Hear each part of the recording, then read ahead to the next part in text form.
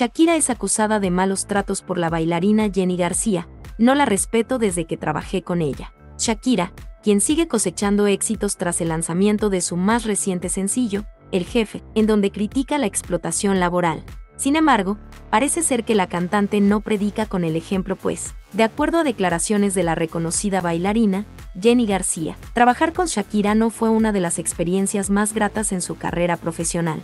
En declaraciones recientes realizadas en el programa, se testuvo D&D del canal de YouTube La Saga. Jenny García revivió uno de los momentos más incómodos que vivió con Shakira, cuando trabajó como parte de su cuadro de bailarinas. De acuerdo en Jenny García, debido a la mala experiencia que vivió por la actitud que tuvo Shakira con sus bailarinas, le perdió el respeto y la admiración a la intérprete. Según el relato de la bailarina, participó en varios conciertos de Shakira cuando vino a México a presentarse en el Palacio de los Deportes. De acuerdo a la declaración de Jenny, la cantante nunca le pagó por sus servicios. Además recordó que Shakira fue grosera y me las gracias les dio a sus bailarines por colaborar con ella. Hice 12 fechas con ella y no me pagó.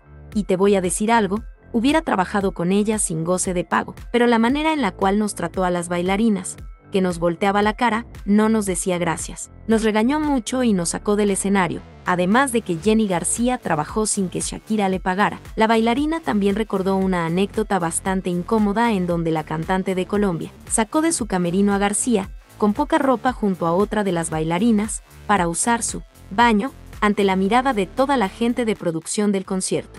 Según las palabras de Jenny García, explicó que le hubiera gustado que Shakira fuera un poco más amable, con la manera en la que se relacionaba con la gente de su producción y el staff, pues ella consideró una falta de respeto la forma en la que los trató.